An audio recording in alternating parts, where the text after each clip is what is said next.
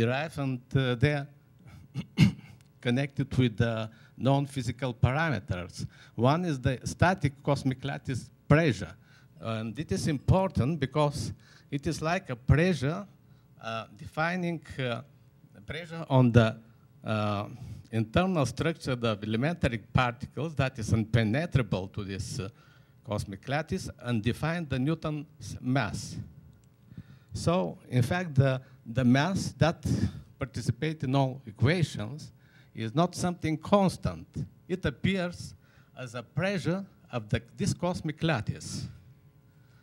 Then the notion is that if some parameters of the physical vacuum, I called cosmic lattice, are modulated, then you could change the mass of the object.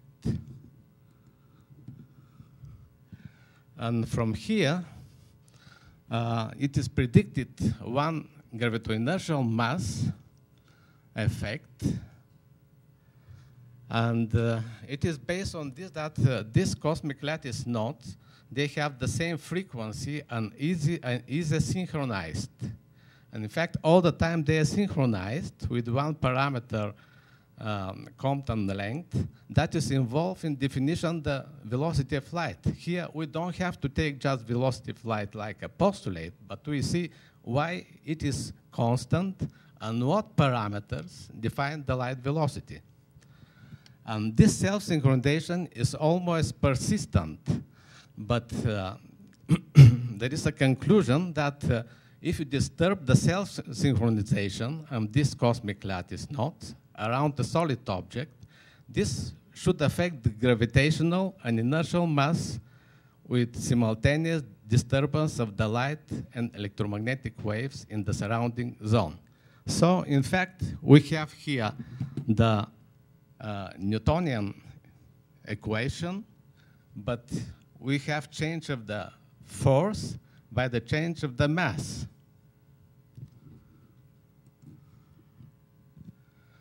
And the theory of uh, symmetrical disturbance of the uh, self-synchronization uh, is by using the Anville's electrons properties.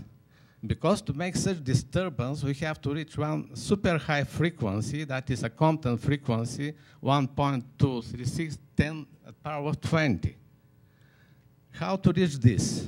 In fact, it could be reached with much lower frequency by using electrons that have the same frequency, but properly motion of this electron accelerating by uh, much lower acceptable alternative frequency, it could reach this frequency, it can modulate the, the cosmic lattice, the physical vacuum.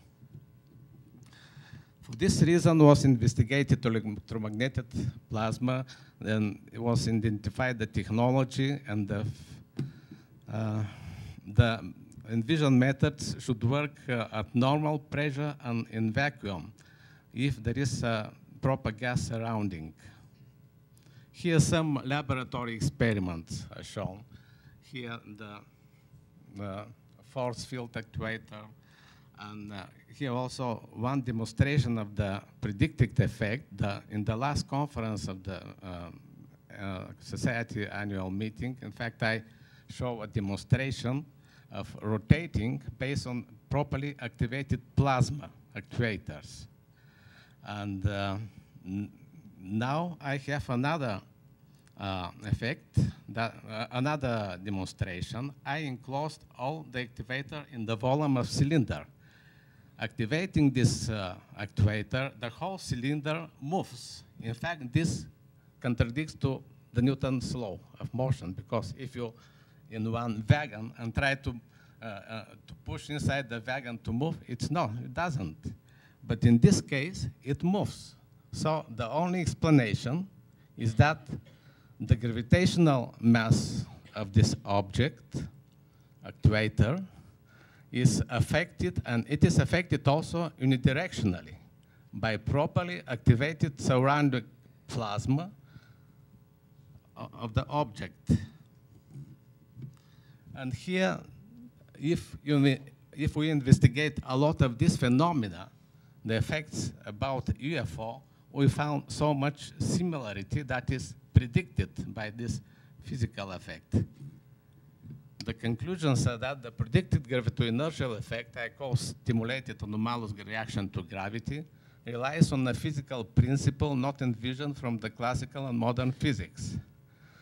Uh, the Sarg effect is a change of the physical vacuum parameters which define the gravito-inertial mass. The propulsion could be used uh, in the atmospheric and in deep space environment.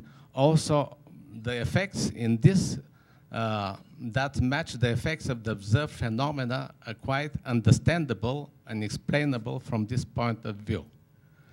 But uh, the conclusion is that the, this effect is suitable only for interplanetary and deep space travel, but not for replacing the jet propulsion system in the Earth's atmosphere. Why? Because this modulation of space may, uh, may have some unwanted effects that uh, some case could be dangerous. For example, there is one unwanted effect, Hutchinson effect, that I apparently also received in my uh, experiments, as a result of which uh,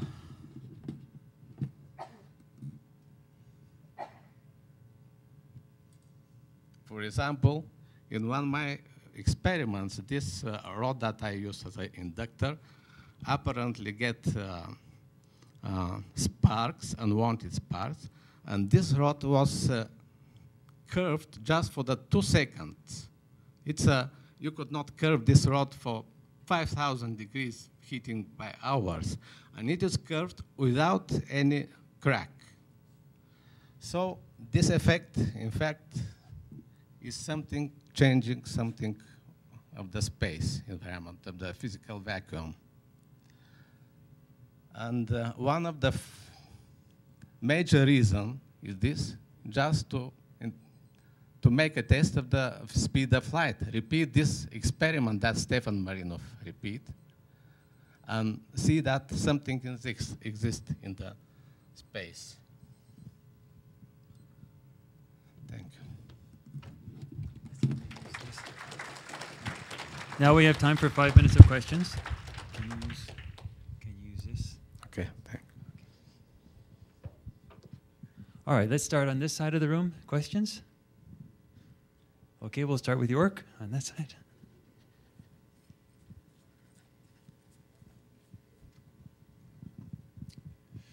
Uh, I'm indebted to Tom Van Flandern for pointing out some months ago that the, uh, the existence of the global positioning satellite system and the fact that people can actually uh, succeed in navigating with it consists of an empirical demonstration that the speed of light is, in fact, constant and isotropic in the environment of Earth, and is an observation with, with now billions of instances and thousands more accumulating every day. Therefore, uh, this would seem to be an overwhelming body of evidence that anything, any experiment that has claimed to find a uh, velocity relative to the medium of electrodynamic of electromagnetic propagation is simply wrong. Okay. If you make uh, measurements of the velocity of, light without a source that is not interrupted, not in sequences, uh, the Doppler shift com is compensated by the clock rate change from the special relativity. So this effect is not observable. But if you make a measurement by intercepting a flight in two directions and both shot outward simultaneously as the experiment of the Stefan Marinov, and not only his, but there is another experiment that clearly detects the motion of the our solar system through the Milky Way, and it is detected in the lab in the laboratory. And this experiment, uh, uh, in the peer-reviewed jour journals. Um, I, unfortunately, I can't tell enough from just this presentation to, to really understand your phenomena. Is there something simple that I could do in my laboratory to test this theory? Uh, uh, in fact, uh, this phenomena